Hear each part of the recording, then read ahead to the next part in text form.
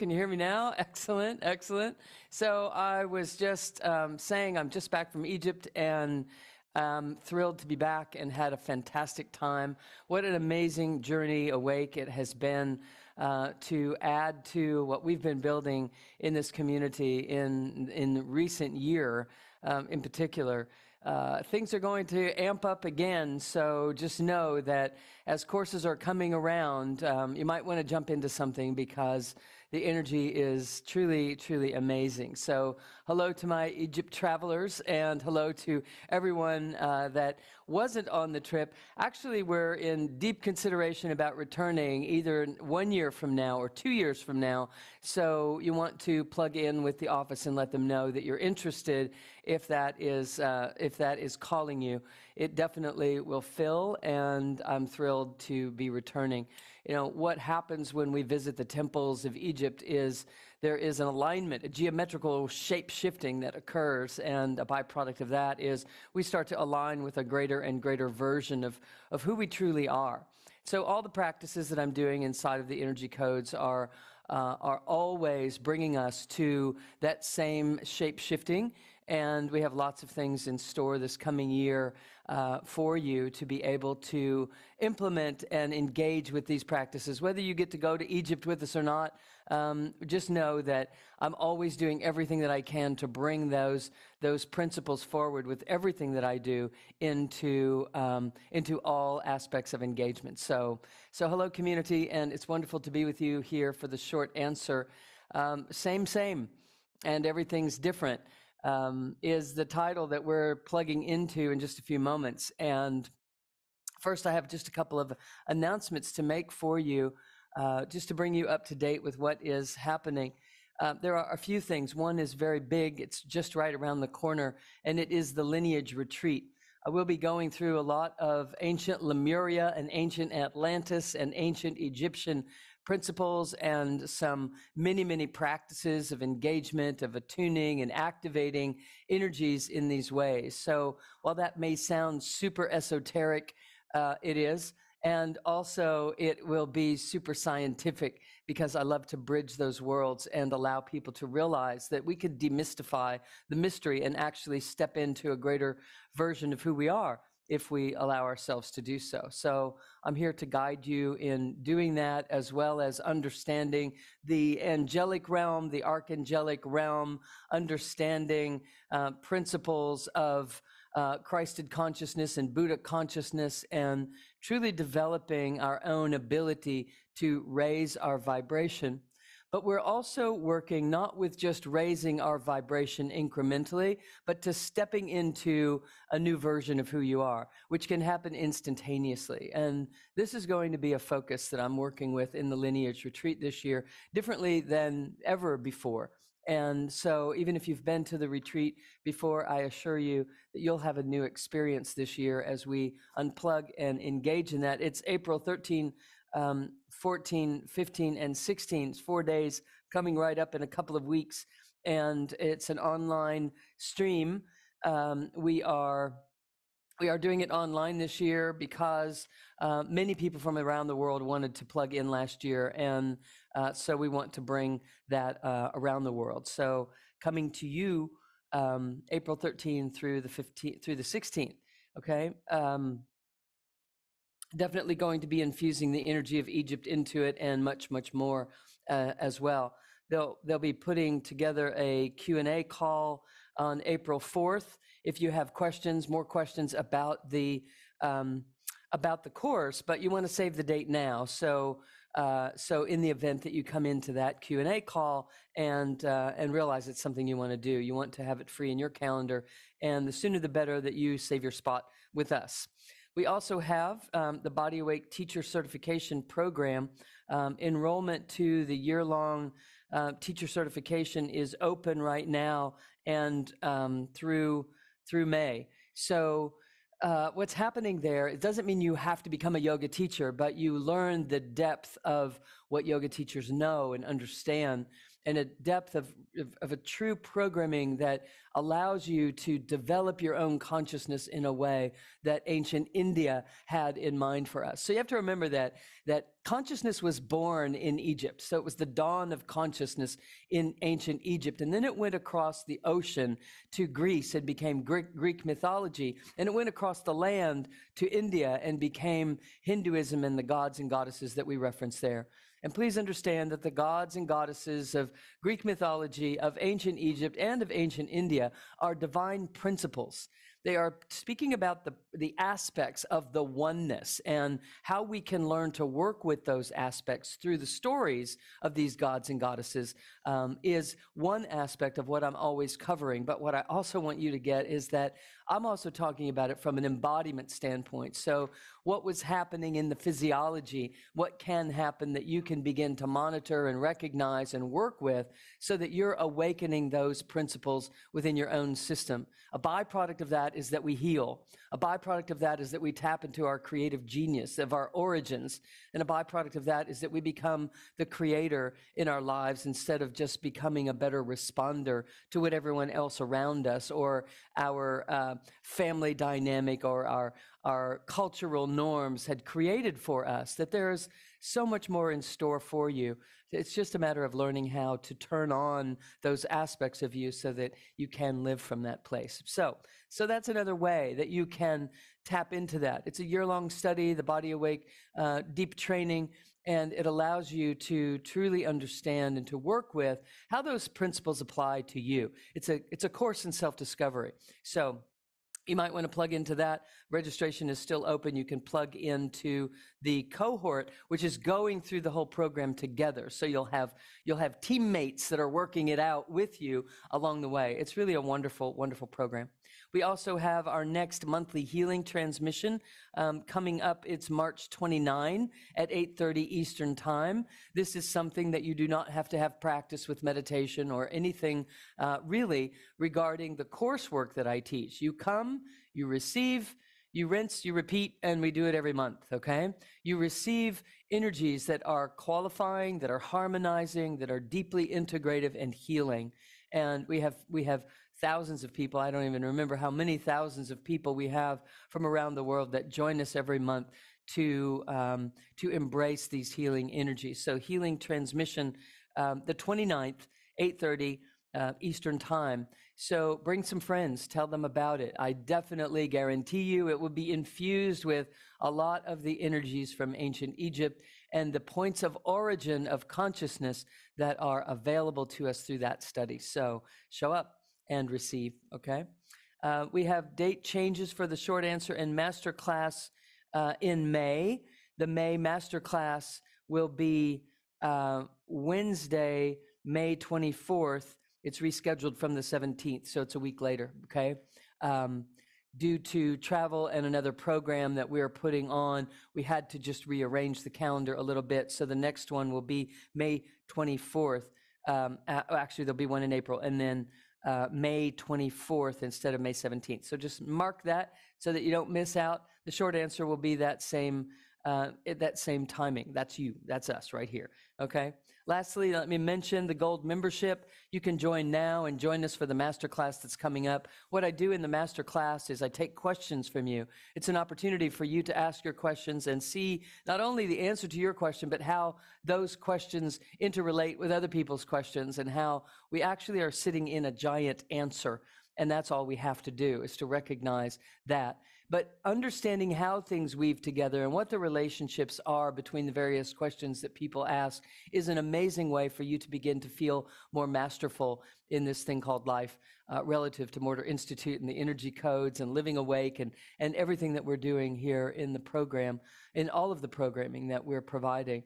There is an answer inside of you that is really stems from learning to tap the master system inside of you. And it truly is following the master.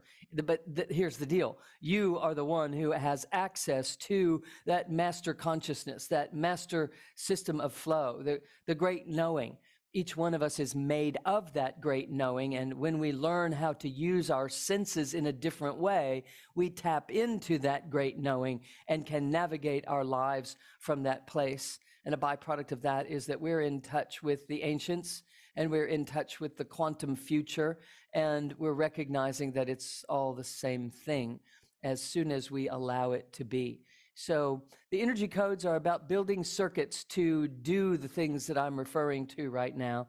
And I'm always uh, speaking to you about how to do that.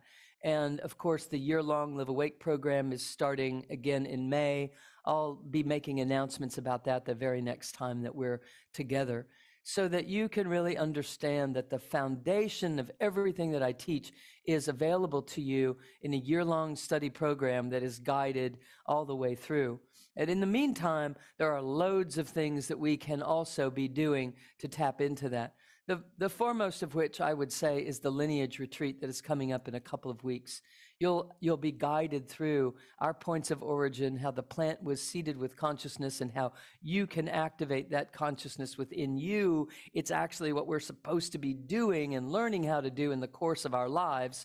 And I'm here to help you, uh, to guide you through that. So, um, so all that's coming up with Morter Institute, and I'm I'm thrilled to always be bringing you uh, everything that we can think of to come in every doorway or window or down the chimney in whatever way is necessary to stir the soul, to stir you at that deep soulful level, because the pain in your life is relative to living from the personality, and the solution in your life is is available to you by learning how to live as the soul a deep study of that with everything that I do. So, uh, so know that it's right here for you in any sense. And so, one aspect of that is right here in the short answer. And learning to live from the soul is what I'm referencing when I say same, same, and everything is different. So, one of the things that happened for me, and I just mentioned this in, in one of the classes that I was teaching today, um, that that there is a reality that is based in duality that we are all used to living in, which generates mm, quite a lot of pain. We're either in pain because we're in what we refer to as dealing with the negative, or we're in pain because we're in the positive, but we're worrying about when is the next negative going to show up and how long is this positive going to last and and is it real and can I count on it, etc. And that's kind of the living hell that most of uh, most of humanity is is finding itself in because we're oriented and have have reconciled and registered our sensory input from this frequency that is referenced as duality. And believe it or not, duality is a choice. It's a choice, right? It's like Oh my gosh, duality is a choice? What? What are you talking about? We're here in the third dimension where duality exists. We have the light, we have the dark, we have the good, we have the bad. Um, you know, how can that be a choice? And and as I was walking through one of the temples in Egypt just this last week, uh, something really magnificent happened in one of the temples, and I'm going to have to stop and figure out which one it was. I'll have to look back through our itinerary. But there was a moment where the solar plexus and the heart of so many in in the crowd which was our people and some other people that were in the temple at the same time i noticed that there was a ripple that was coming through um, our group in particular, uh, only because that's who I was looking at, but I noticed that it was in the whole space that I was in that activated and kind of illuminated this solar plexus, which which has an effect right on the heart space because the heart space is sitting on the solar plexus. And the solar plexus is what anchors our mind. Our mental body is anchored in the solar plexus, right? Where the ribs splay apart, where if I punched you, it would knock the wind out of you. That space right there where so many people feel anxiety and, and turmoil, uh, upset stomach, um, that un that dis-ease, the uneasiness of life really stems from there. And it stems from there because the mental body stems from there. And the mental body is the one that's deciding that this is good or this is bad or I'm not okay or, or just really assuming that I don't have a choice and that I have to deal with this thing that these other people are doing or this thing that these other people don't understand or this, this, re- this reality that I'm living in that is filled with angst. And And here's what here's what came right after I was witnessing this. It was like a boom, like a a a, a thunder and lightning sort of sort of in a silent sort of way went through the group and there was a a, a huge moment of of realization and the best way for me to describe it to you is that it was as if friend and foe were the same now, the night before, I had had some image sort of thing happen. It wasn't a dream, but it was more lucid than, than sleep, but it wasn't driven by my conscious thoughts by any means. And it was literally the same thing. And then this next day in a temple, I see this thing ripple through our crowd. And, and it was the equivalent to your your most reliable friendships that you're really attached to that you're hooked in with and your most challenged relationships were in a room together and they were collaborating in a sort of way like a way that your mind would never imagine these people and these people would never be collaborating. They would never be getting along, much less coming up with a way of working together in some project here in our earthly experience. At least we pretty much hope they don't because we're pretty much counting on these to help us deal with these. And and here was a new realm. It's like the curtains are pulled back and all of a sudden you're sitting in another way of looking at things. And you weren't trying to, and it came out of nowhere. And it actually can be um, disarming or it can be um, disabling for a moment because our reality that we were counting on is now gone. Like, how could you talk to you and how could you do that? And, and it, and it would feel as if our allies and our enemies were equally unreliable. But what happens in that same moment is an attachment is removed. An attachment is set back, and we are set back here in a new perspective that recognizes bus stop, bus stop conversation. It's about the bus stop conversation and these allies and enemies and friends and foe and the liked and the unliked. Um, they're working together. They're conspiring to support you into your unattaching to the world of duality. Yeah. Okay.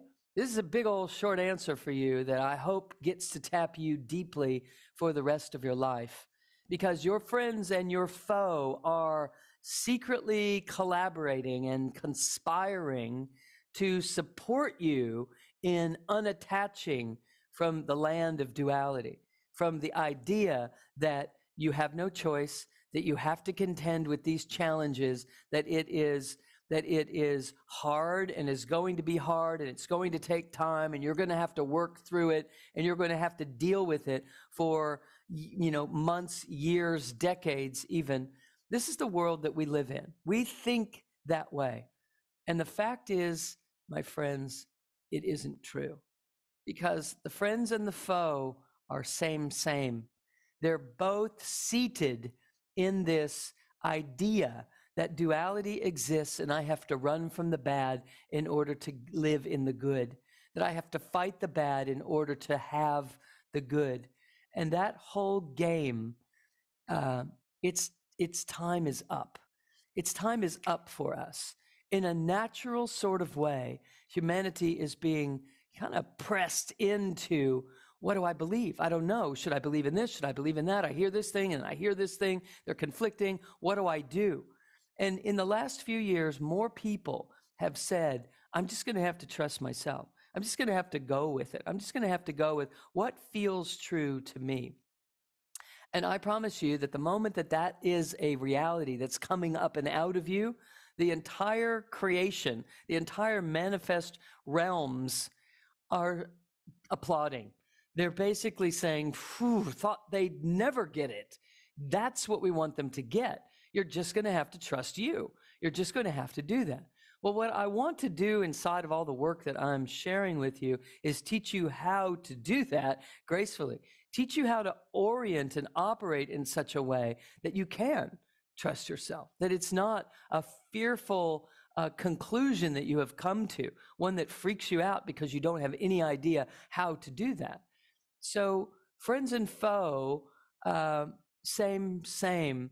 Allies and enemies, same, same. You know, and it's kind of a freaky thing to even think about. But I want you to understand this they're both conspiring in your favor. Both of them are equally conspiring in your favor to assist you in finding you.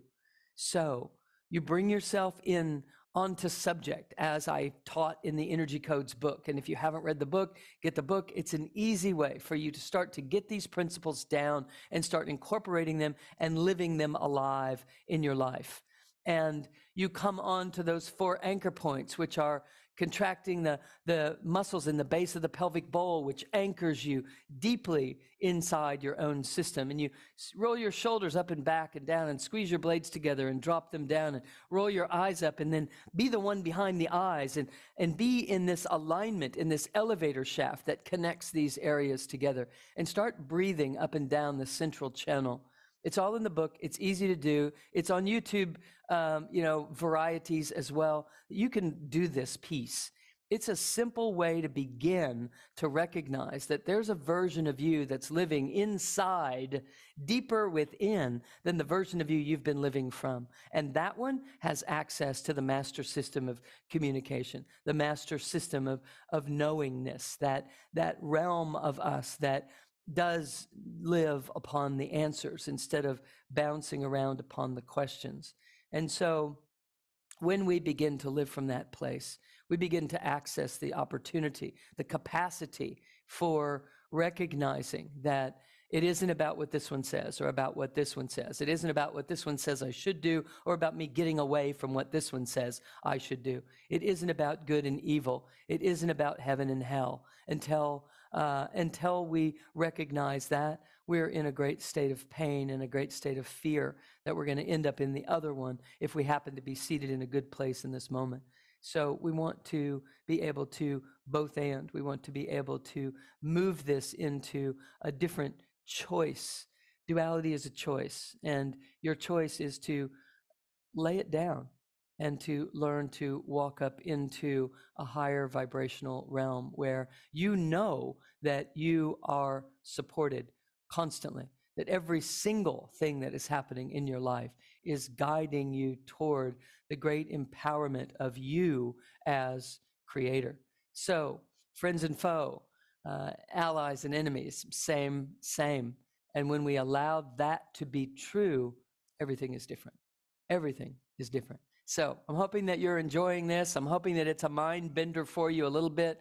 Uh, just know that the more love you pour into the mix in the meantime, the sooner that statement will start to make sense to you and start to be applicable uh, tomorrow when you start grinding on that question of what should I do and how do I say this and what do I what am I going to you know how am I going to manage that situation? All of it starts to unfold with hey. It's not about getting a better response to those people. It's about dropping the whole thing and just doing exactly what you would love to do. Period not relative to anything. What would you love to be creating for yourself as a life experience? So I'm hoping that you're enjoying the short answers. I love to come and connect with you in little blips of time where we can really spark something that that shifts you. And by doing so, I'm hoping that it also allows you to recognize that there's something here for you in the deeper coursework that you have access to anytime. You can jump in all along the year, uh, no matter what's happening.